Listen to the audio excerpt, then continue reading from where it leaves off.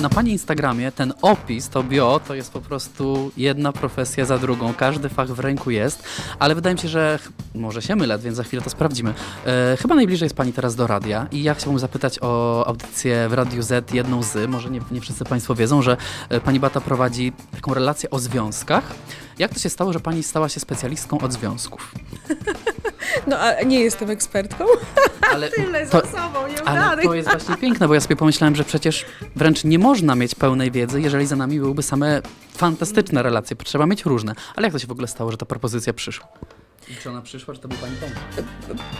To chyba wspólnie wypracowaliśmy e, w radiu, bo wcześniej miałam e, o tej godzinie mm, e, program pod tytułem Stereotyp. Skończył się sezon, rozpoczęliśmy nowy sezon i zaczęliśmy mm, rozmowę, a może by tak zrobić program o związkach, bo wokół związków jest tyle różnych rzeczy, tyle aspektów związanych właśnie z, z relacjami mm, partnerskimi, ma, małżeńskimi, wszelakimi, że warto to rozpatrywać, więc bardzo jestem zadowolona z tego programu.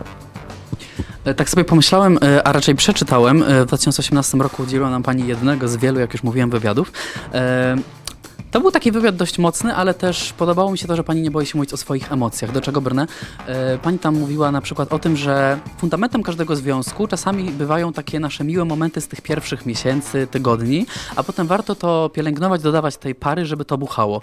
To jest tak, że każda relacja uczy Panią czegoś. Ta lekcja na przykład została wyciągnięta i teraz i pozwoliłaby sobie już Pani na taką relację właśnie, w której tej pary by zabrakło? Myślę, że y, każdy związek jest y, inny, bo kiedy wiążemy się z innym człowiekiem, to nie możemy przykładać do niego matrycy y, wykutej w czasie poprzedniego związku. Myślę, że to jest bardzo dojrzała, dojrzałe myślenie o związku, bo nie możemy się w nim ani zatracić, ani też zgubić naszej wolności.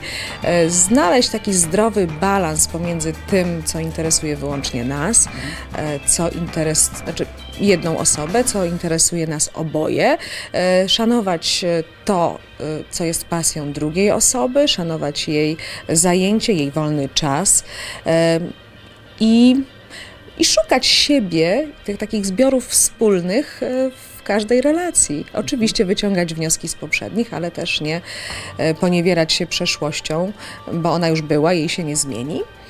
Mm, I cieszyć się każdym dniem, każdą obecnością, każdym gestem, dotykiem, słowem.